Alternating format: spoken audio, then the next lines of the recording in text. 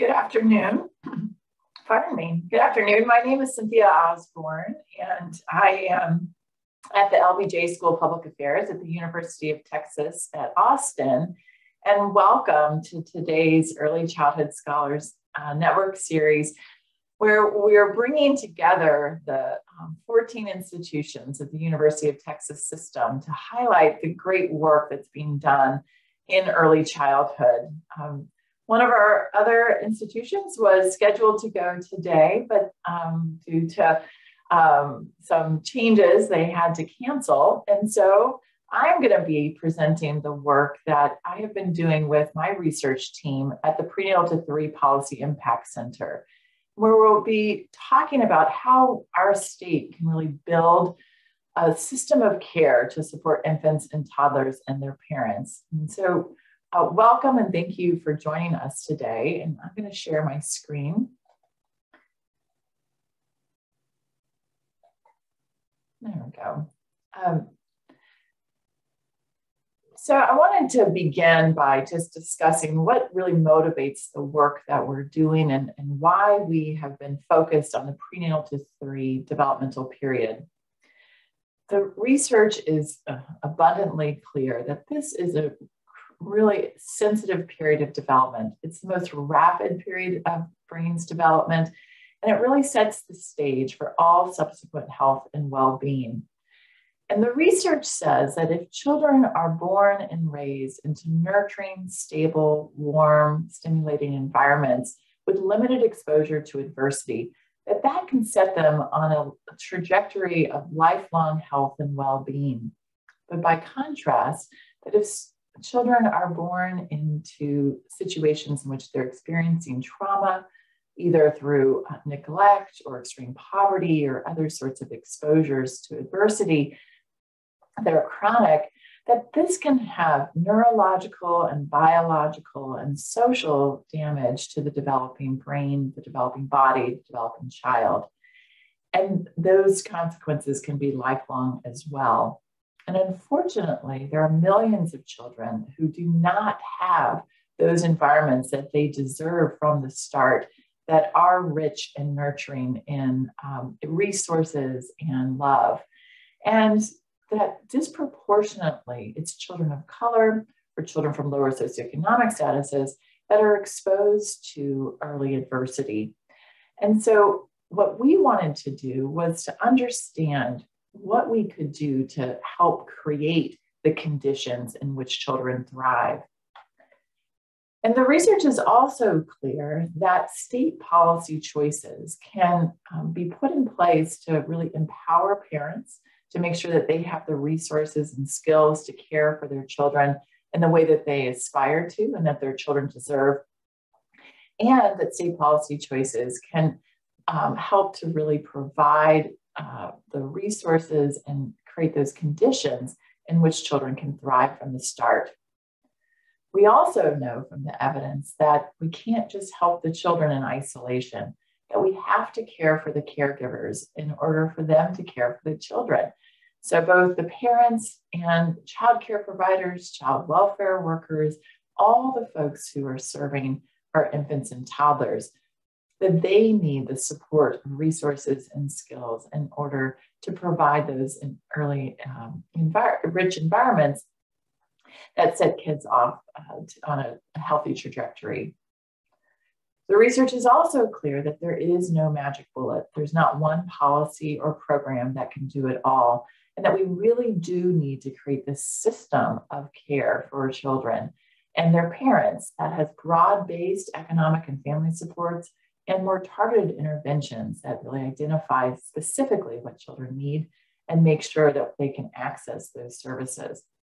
But currently, across this country, children are exposed to a patchwork of benefits and services based on the, uh, their state's policy choices.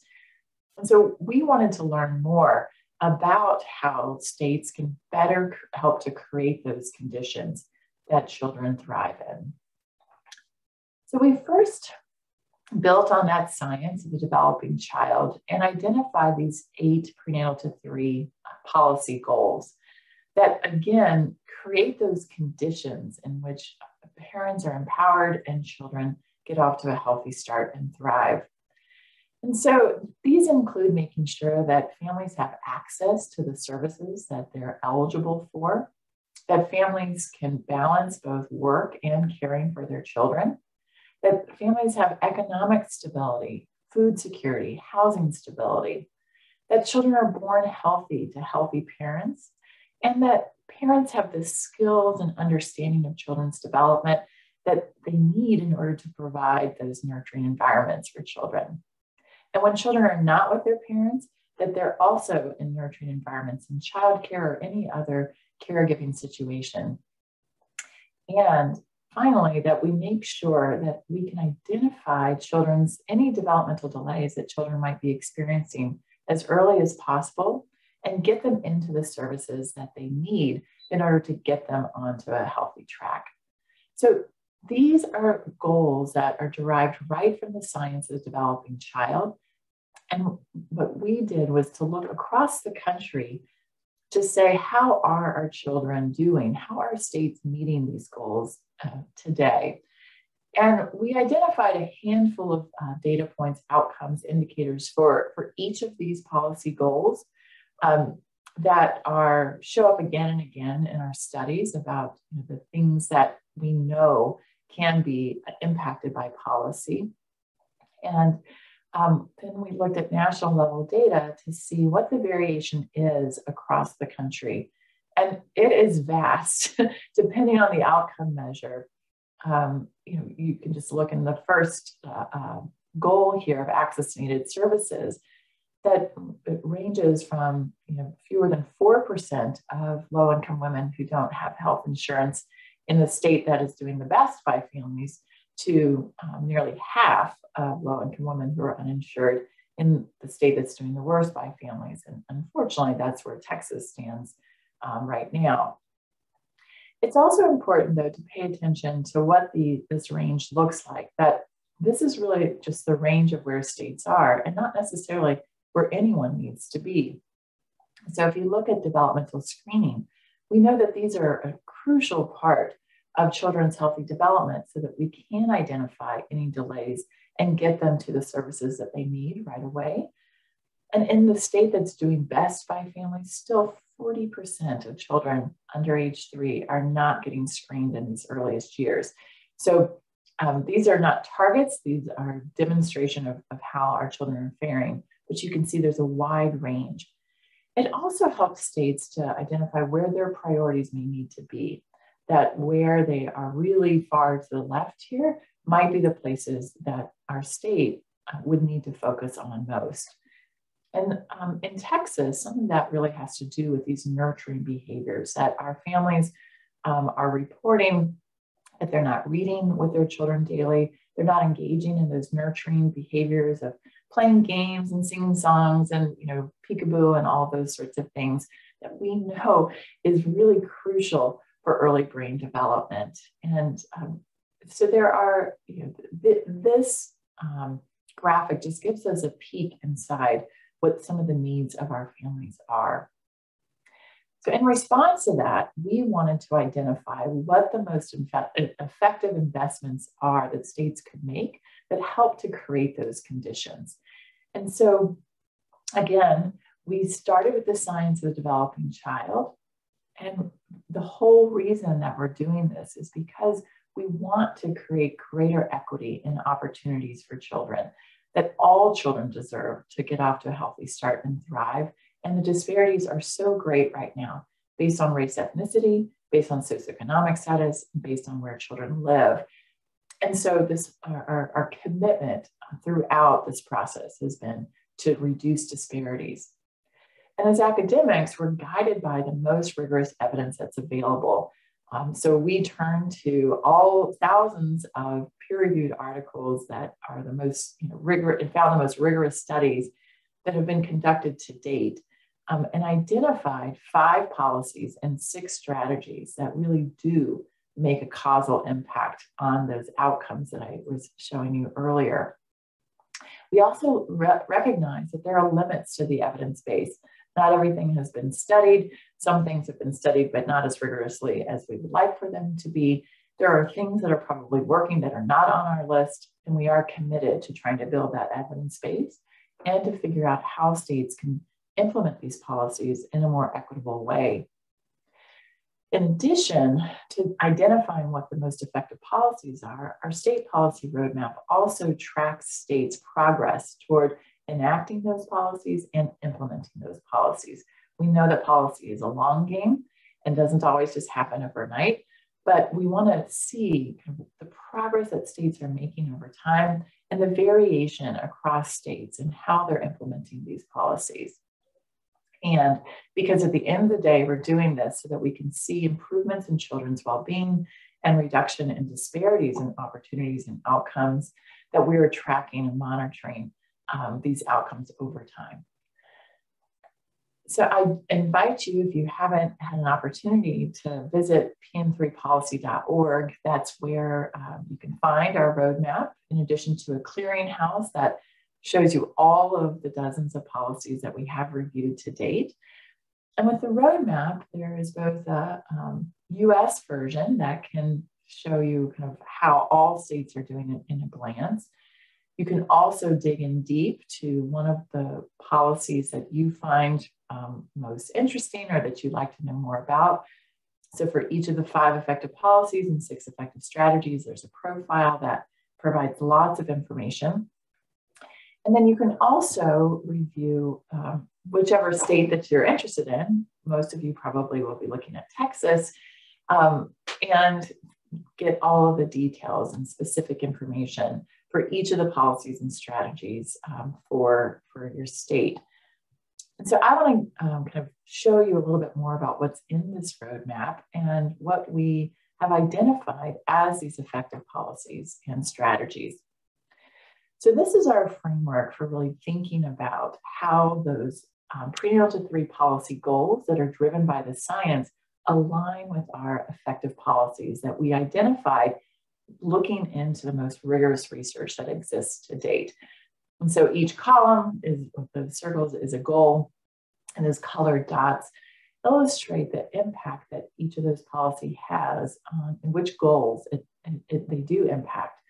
That way, for if a state is um, wanting to focus on a specific goal, for instance, improving birth outcomes, then they're able to um, turn to those policies that actually have been demonstrated to have an impact on that goal.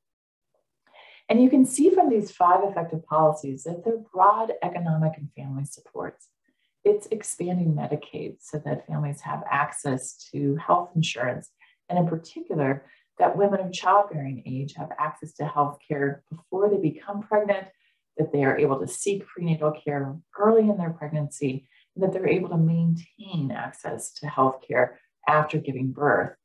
Um, we also identified reducing administrative burden policies.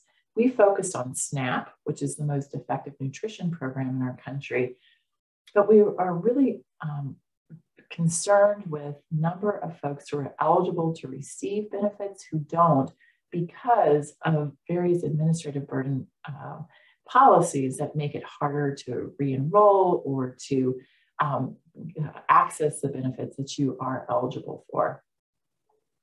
We also identified a paid family leave policy that's at least six weeks in length. That's not the goal, that's the floor. Um, all the research that's been done on paid family leave, uh, most of it has been done on California, which was six weeks. And so that's really a minimum that's needed in order to see the impacts that we um, find in the literature. A state minimum wage policy that raises the federal minimum from 725 to at least $10 an hour. Again, that's the floor of what the research says is needed in order to be impactful on um, prenatal to three policy outcomes. And a refundable state earned income tax credit that's at least 10% of the federal credit. Again, that's the floor. That's what the research says is needed in order to see these impacts. And so those are the five effective policies. And in addition, we identify these six effective strategies. And the difference between a policy and a strategy is that both are effective. The research says that both of them work. Causal studies demonstrate that they impact our prenatal three outcomes. Our strategies are often more targeted in what they're trying to do. And the research is not clear as to exactly how states are supposed to implement these strategies in order to get the um, impacts that we see in the literature.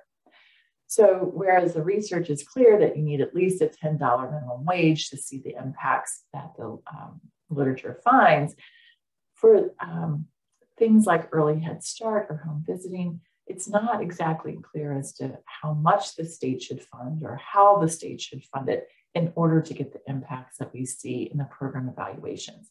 So that's the only distinction, um, but both are important and jointly create this system of care that have these broad-based economic and family supports and more targeted interventions. And for our strategies, we identified comprehensive screening and referral programs such as Family Connects or Healthy Steps that offers its services to everyone that is kind of available in that area. And I, does a comprehensive screening of the families to identify what the family needs and offers that instead of offering what it is that we have. We know that childcare subsidies are an essential part of the system of support for families in order to allow them to work and to access care in a much more affordable way. Uh, we'll talk a lot more about childcare subsidies, and obviously, they're on everyone's um, you know kind of mind right now as such a big part of the Build Back Better Act that has been proposed. Group prenatal care is another effective strategy. Our evidence-based home visiting programs, especially those focused on parenting, our early Head Start programs and early intervention. In Texas, we call it early childhood intervention or Part C.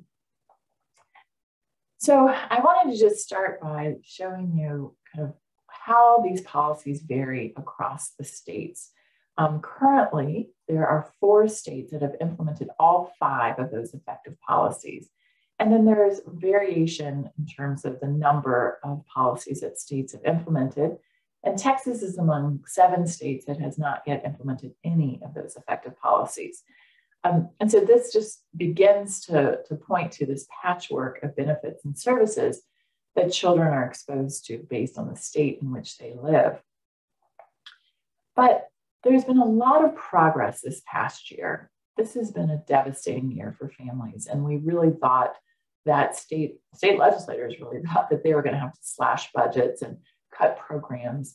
And instead, there was a lot of movement forward. Um, and five states actually adopted one of our effective policies this past year. Um, and Missouri actually adopted two.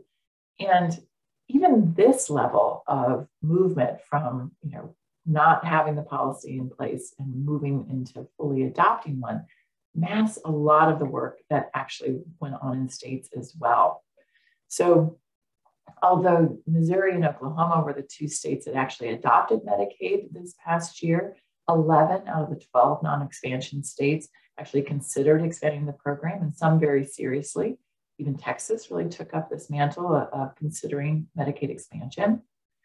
Um, Minnesota and Texas were two states that considered um, extending their recertification interval for SNAP up to 12 months. Uh, in Minnesota, that was passed. In Texas, it was considered, but um, didn't get voted out of committee. With paid family leave, there was a lot of action at the state level of at least six weeks. That was kind of the minimum that we were looking at. And Massachusetts became the sixth state to fully implement uh, a paid family leave program that's at least six weeks. It, it implemented 12 weeks in January. And um, we, Rhode Island moved from four to six weeks. Connecticut will be implementing its program soon. Colorado passed a ballot initiative for it. Oregon's going to be implementing its program soon. Um, so there will be 10 states very soon that will offer paid family leave of at least six weeks. And 23 other states considered legislation this past year. So this is uh, an area that is very active at the state level. For state minimum wages, we had three states that went above the $10 threshold for the first time this past year. Um, and we have three additional states that are already scheduled to go above the $10 mark next year. And 11 states are going to have at least $15 an hour within the next five years. And there was a lot of legislative activity in terms of increasing minimum wage. the federal minimum wage hasn't been increased since 2009. And so, um, although we hear stories about lots of folks getting paid higher wages, there's still a substantial number of workers who are working for 725 an hour. Two more states next year will have at least a 10% uh, refundable earned income tax credit, Indiana and Washington. And nine other states voted this past year to expand their EITC. Um, Texas does not have a, a, an income tax, so therefore, for you know most of the time, we've been thinking that states that don't have an income tax will not have an earned income tax credit. Um, but it, Washington State also does not have an income tax, and they have found a way to fund this and to offer it um, as a credit for families. With regard to progress on strategies, there was also a lot of progress that was made. Um, there were two other states now, uh, in addition to Oregon, that will offer Family Connects to all births in the state over uh, building that up over a period of time. Child care subsidies saw expansions in rates and redu reductions in co-payments and increases in um, uh, eligibility levels. Group prenatal care, saw um, substantial investments in group prenatal care by three states especially by increasing their uh, Medicaid enhanced reimbursement rate. And in our uh, home visiting programs, early Head Start and early intervention services, there were states that were really making progress to try to expand access and eligibility to those programs. For every state, but especially for Texas, for those of you who are interested, within the roadmap, we um, provide a summary of the legislative action that took place over the past year. And in some cases, there were a lot, and in other cases, there wasn't that much. Um, and that's just a snapshot. And for each of these policies and strategies, uh, we also provide a much more in depth look at, at the um, legislative action if you kind of click on the policy profiles.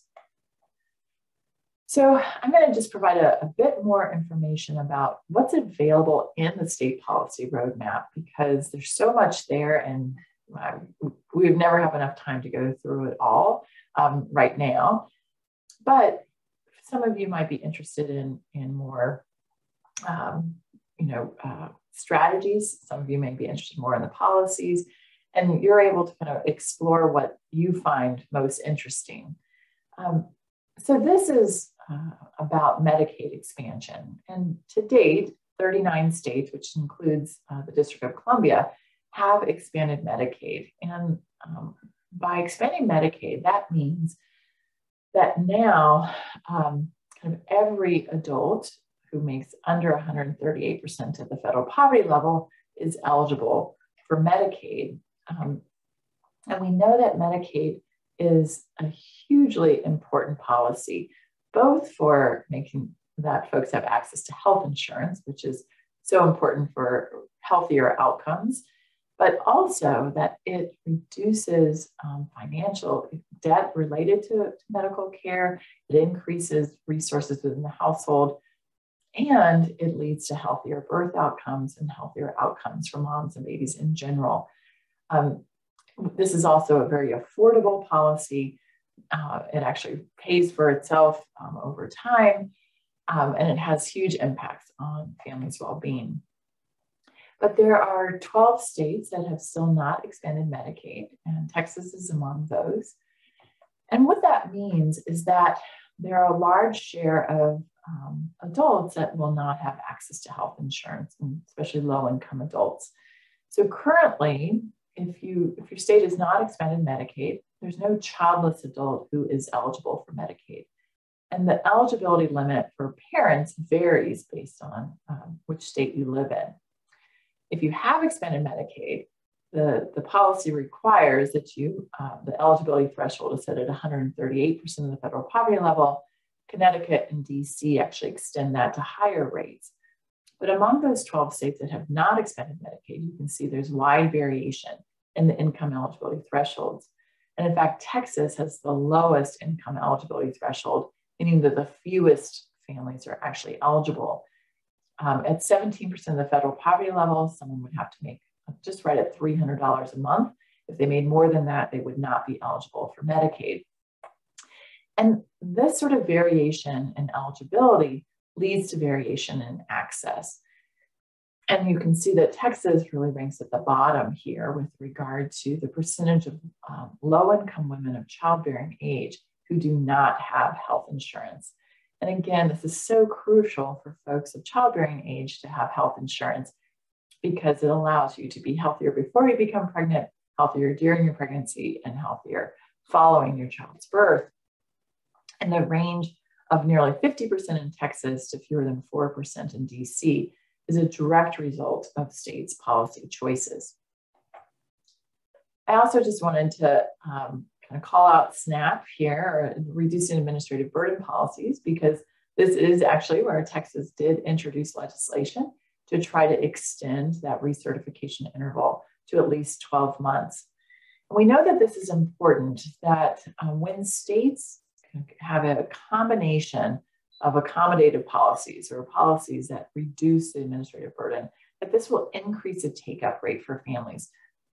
Again, these are eligible families. They qualify for the benefit, but there are thousands and thousands who do not actually take advantage of this benefit. It's close to $500 a month toward uh, nutrition or toward food.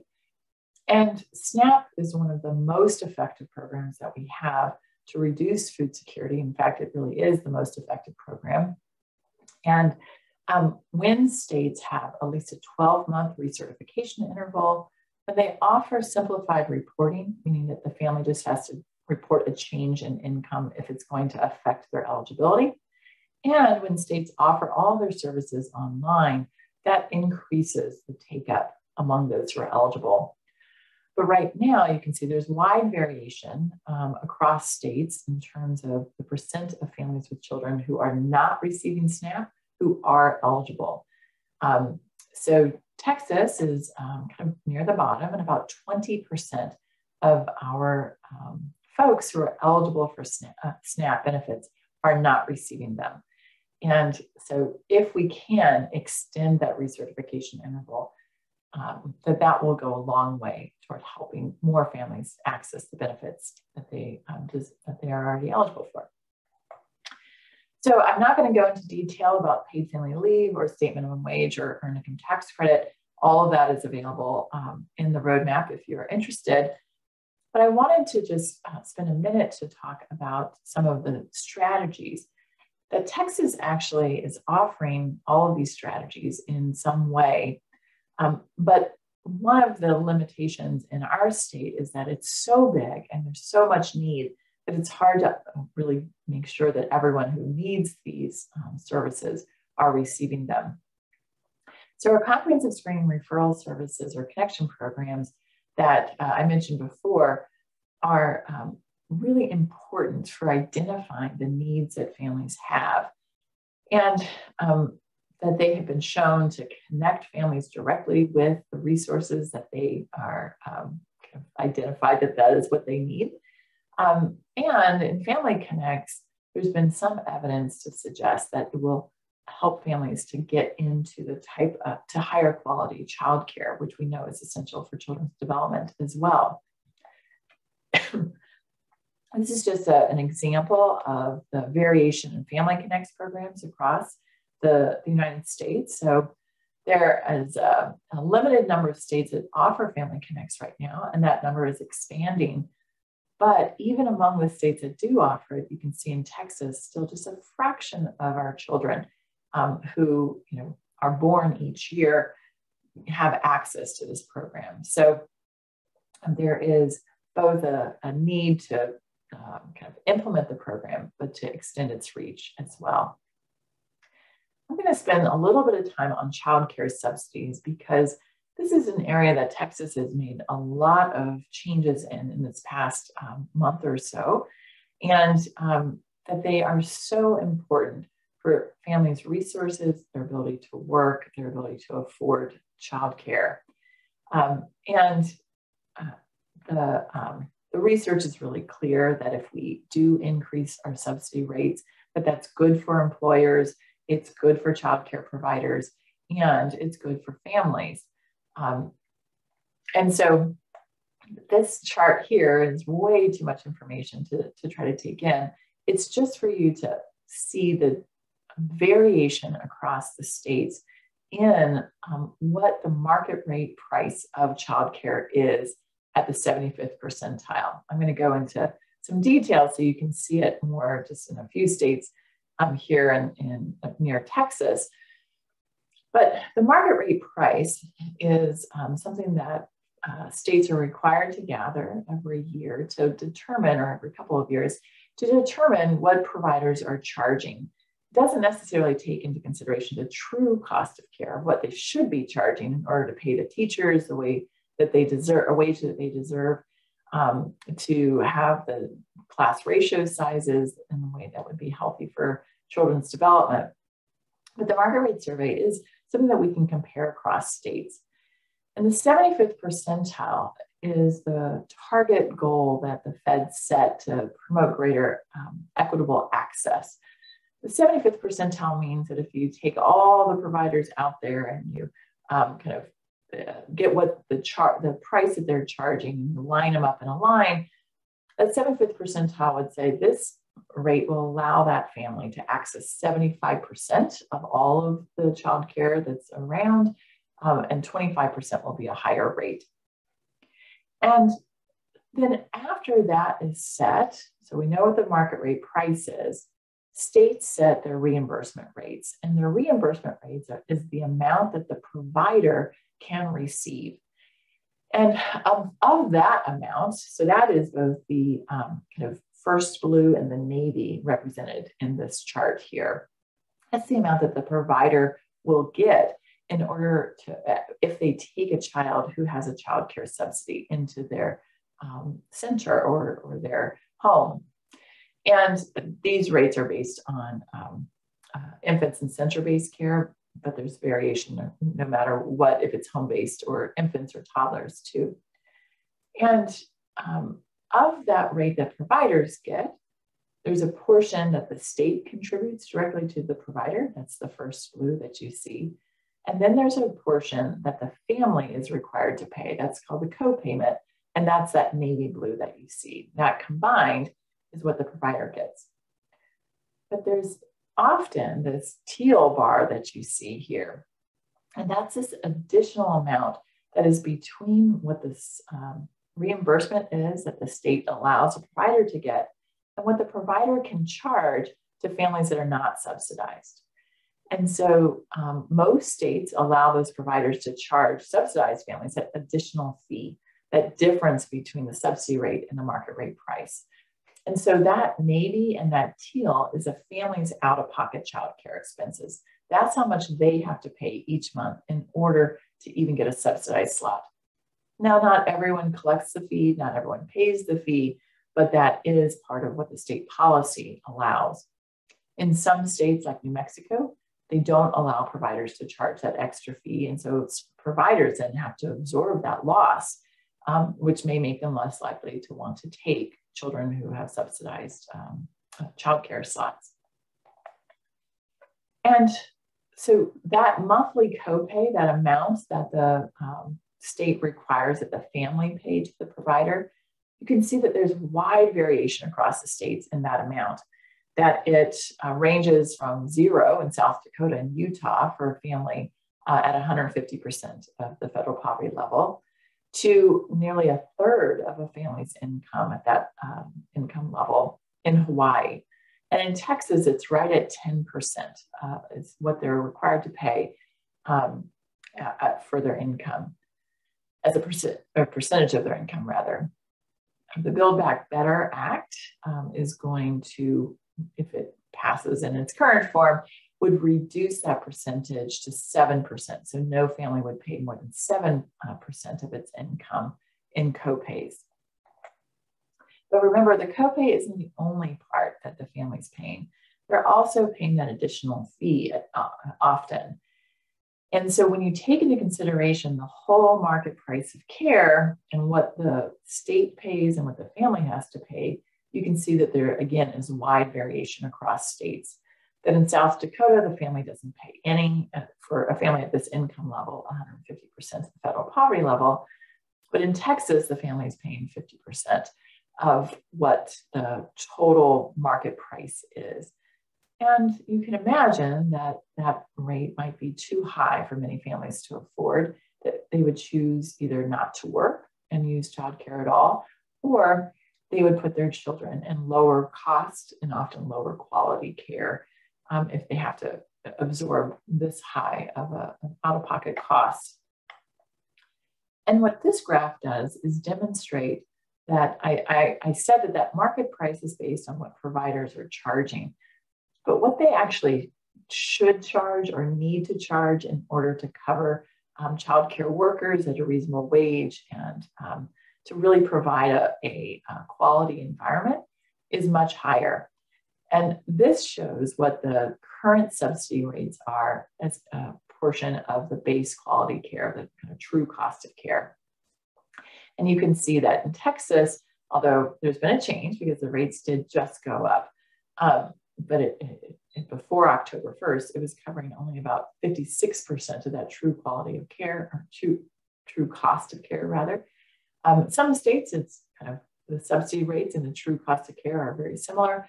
And in others, there's just a huge difference. So it's something important to take into consideration when we're thinking about our, our reimbursement rates. Um, so I'm going to um, kind of go through uh, this very quickly, just in the interest of time, to make sure that I leave time for questions. But I just wanted to, uh, again, demonstrate that we have these effective programs in place, but the take up of them can be very small. We have such a high level of need in our state. It's so big, it's hard to build the infrastructure to provide all of this. Um, but group prenatal care, we're one of nine states that offers an enhanced reimbursement to families or to uh, physicians rather who provide group prenatal care for um, uh, up to eight to 12 moms during the prenatal period.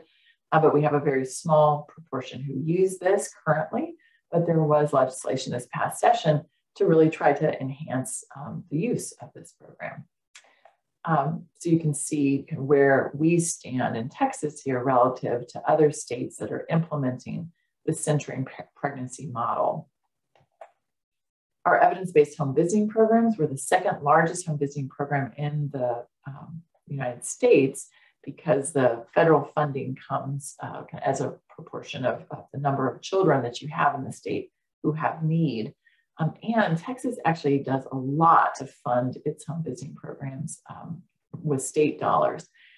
Still, though, even it's such a widespread and um, you know well-funded program relative to many others, we still serve just around 2% of all the children who would be eligible as compared to some states that are serving um, nearly a quarter or a third of all of their children. Our Early Head Start, um, this is one of the most effective programs that exist in order to really lead to better outcomes for children, uh, for infants and toddlers.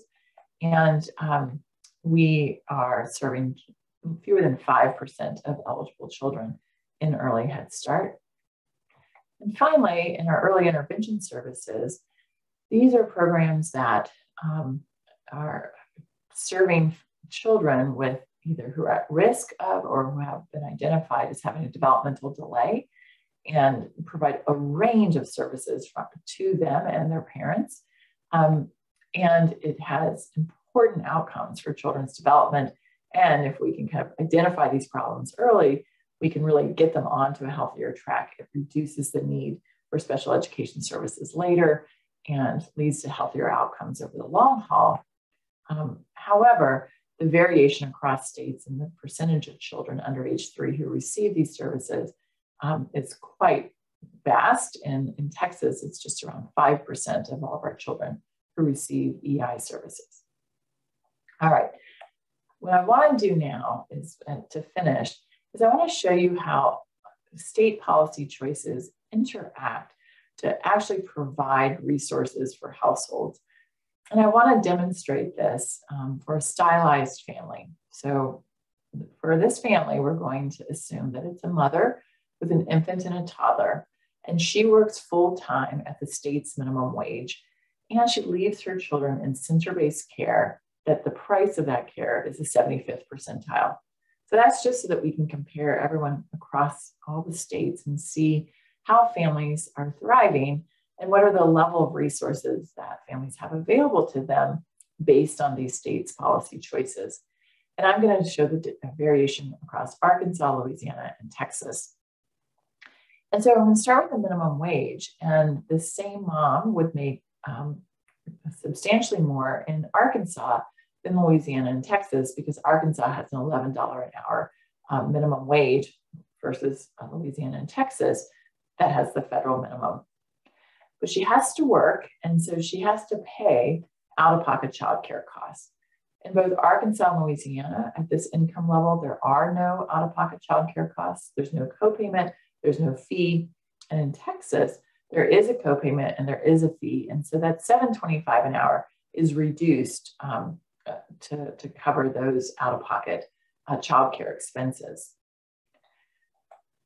And then if we add in the nutritional benefits that the mom is eligible for, mom and children are eligible for, and um, the state's tax credits and the federal tax credits that she's eligible for, you can see that there's a substantial increase in the resources, both um, in nutrition and tax credits. And on a temporary basis, while the American Rescue Plan Act is still in uh, effect for another year, that, um, or for, for this year rather, if it's renewed um, through Build Back Better, it would be for at least one more year. You can see that those expenses are even larger. And in Texas, they find, finally almost catch up to Louisiana there because of that child and dependent care tax credit um, that allows her to offset some of those out of pocket expenses. So that's how these kind of combine together to um, provide resources for families in Louisiana, she has access to Medicaid because that state has expanded the program too. Now, Texas, um, this is a, a, huge story and um, something that Texas should be very proud of.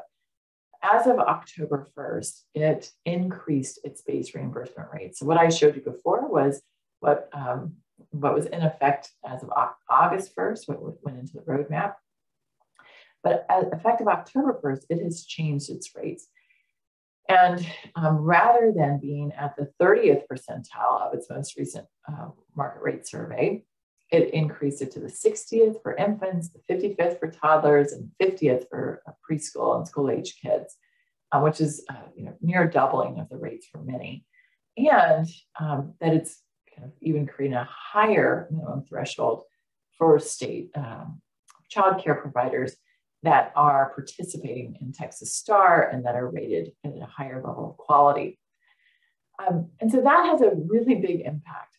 If I were to have shown you the same graphic that I just uh, showed um, before October 1st, then you would see that Texas, the out-of-pocket childcare expenses are huge. And it basically cuts a mom's earnings in half just to pay for her child to have childcare.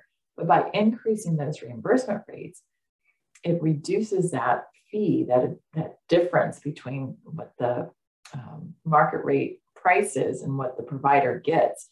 And so that really reduces a mom's out of pocket childcare expenses quite a bit and allows her to maintain those earnings. Um, and um, although she's not getting as much now in her uh, child dependent care tax credit, um, at the end of the day, the green line, which is the permanent resources that she has, is uh, larger now than it was uh, before October 1st. So this change in uh, childcare reimbursement rates has made a big difference for families. Um, and then also, if you look at the total available resources, this is for all 51 states, you can see this huge variation. In North Carolina, um, the same family has fewer than $22,000 in resources to cover everything, including housing and food and transportation. Um, whereas that same family in DC has over 42,000. And you can see that in Texas, that this child care reimbursement moved the mom um, from the where she was as of uh, August 1st up quite a bit now to having substantially more resources to provide for her um, infant and to infant and toddler. All right, so I'm going to kind of close out here just by offering us as a resource for anyone that would be interested in learning more about these um, policies and kind of the evidence about them, how they're being implemented in various states, the generosity and, and what that means for children's well-being or how states might kind of make changes that would increase the generosity and benefits that families have access to. And I encourage you to, to reach out to us and contact us. Um, I actually am going to be leaving the University of Texas and moving to Vanderbilt, um, and my team is uh, coming with me. And so we're excited to move the Prenatal 3 Policy Impact Center there.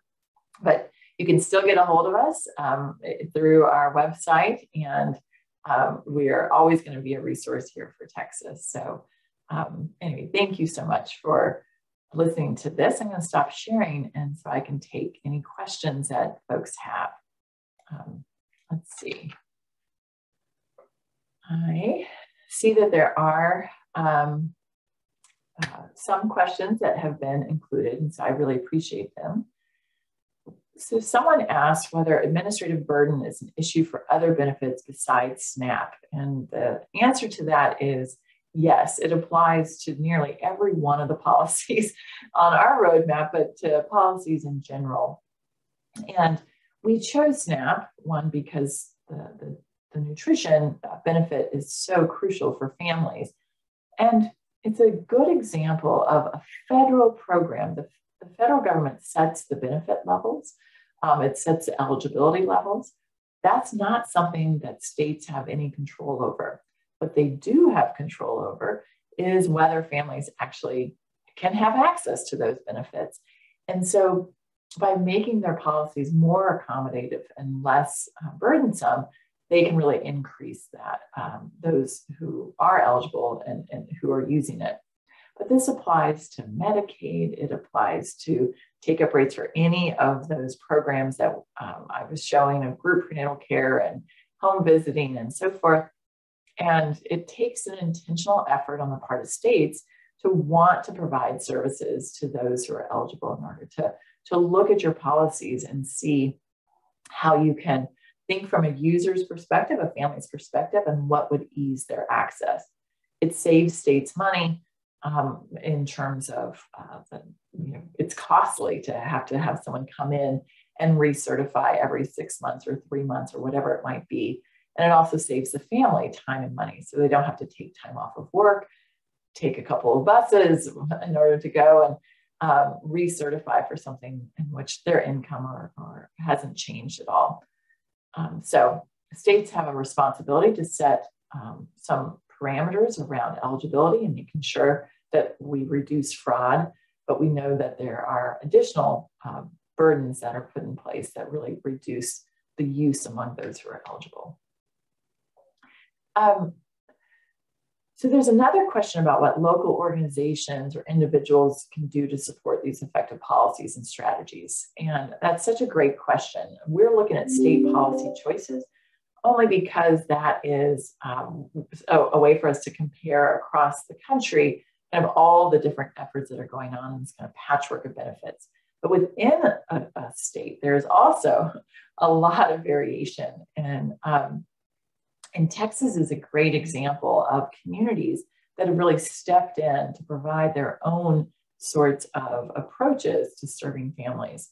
So in uh, Fort Worth and Tarrant County, there is a, a huge effort to focus on the prenatal to three period using Help Me Grow and other sorts of evidence-based programs to try to service families from the prenatal period all the way up until they start school. The Child Poverty Action Lab in Dallas County has been doing this amazing work to um, meet families where they are and use evidence to try and, and increase the resources that families have access to. Here in Austin, the Success by Six program, again, has been thinking holistically and bringing not just the child care providers, but other uh, human services and health together to the table to really try to think about a system of care. In Harris County and in Houston, they also have new initiatives that they're doing to, to try to support families directly. San Antonio has huge a huge initiative through the United Way there. I could go on. It's really the implementation all happens at the community level. And in a lot of cases, when the state government isn't necessarily stepping in, the um, communities themselves are raising money and, and providing services. Um, so there's a question about whether I could provide more insight as to how the Build Back Better Act, uh, which is hard to say, would potentially affect these policies in Texas. So the first would be in the child uh, care subsidies. That would be um, the, the, the, part of the act that has been, mm, if anything's been stable in there, the most stable in that um, we, it is going to provide childcare, enough money for states to make it so that the childcare subsidy amount to providers would try to cover the kind of true cost of care, paying our childcare workers a wage that um, they deserve for the immensely hard job that they do. That would allow the providers to um, set their ratios between the number of adults to children at levels that are healthy that would have higher standards um, for quality. And so the, the reimbursement rates would be larger, and the family's um, responsibility for what they would owe would not exceed 7% of their income, up to um, very high levels of income. And there would be no additional fees. Um, so the, the, there's no difference in what the providers are getting in a market rate price anymore. Um, so it will have a huge impact for many families on really reducing those out-of-pocket childcare expenses. Um, there is also currently a provision that may or may not stay in. I, I don't know um, if it's in even this hour, but of four weeks of paid family leave. Um, in Texas, uh, it does not have any paid leave. Currently, families are only eligible for the Family Medical Leave Act um, which is unpaid leave, and not all uh, employees are eligible for that. So this would really expand access to paid leave for families.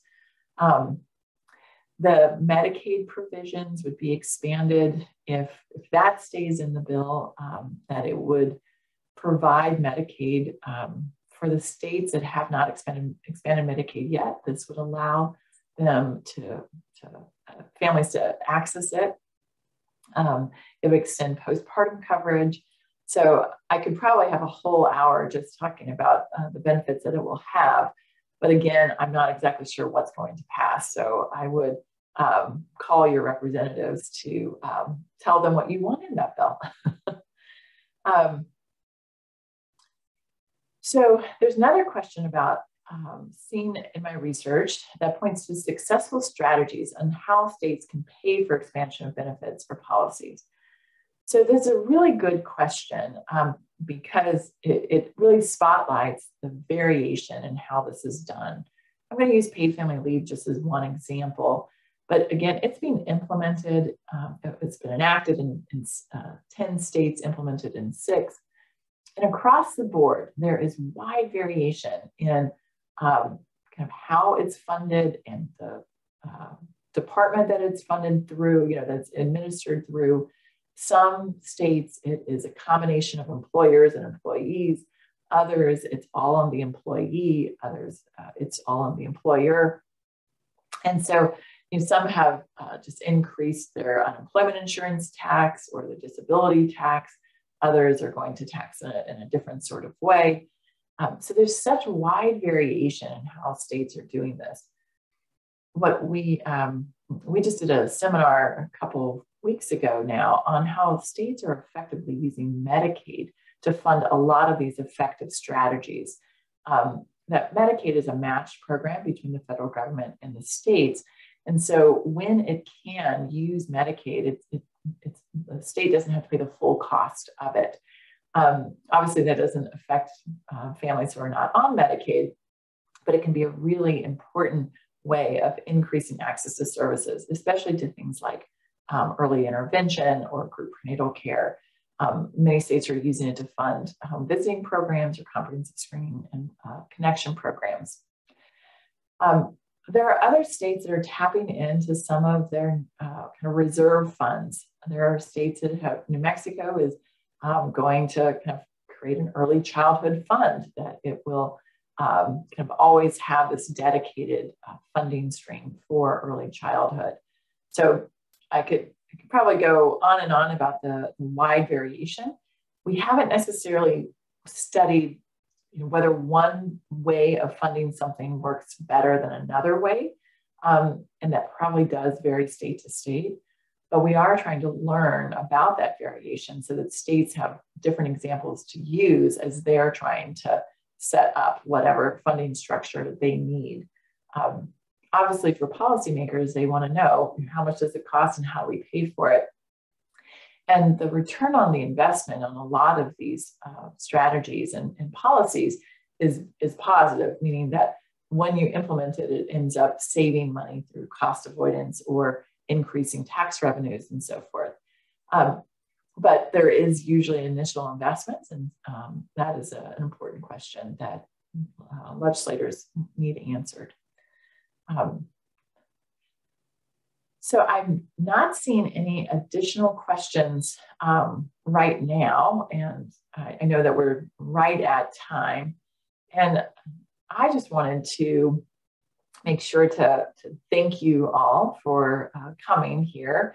That that has been, you know, glad, always glad to be able to share what we're doing, and to invite you to the next um, UT Early Childhood Scholars Series event that will, uh, in which UT Health in San Antonio is going to present on December 9th about addressing the effects of substance use on women and children and looking at from a community driven perspective. So I'm really excited um, to see that event coming up in a month. And um, I wish you all a great weekend and a very, very happy Thanksgiving. I hope everyone gets a chance to relax and spend time with your loved ones and be thankful for all the blessings that we actually have now coming out of this incredibly, incredibly year and a half. So thank you again for joining me today.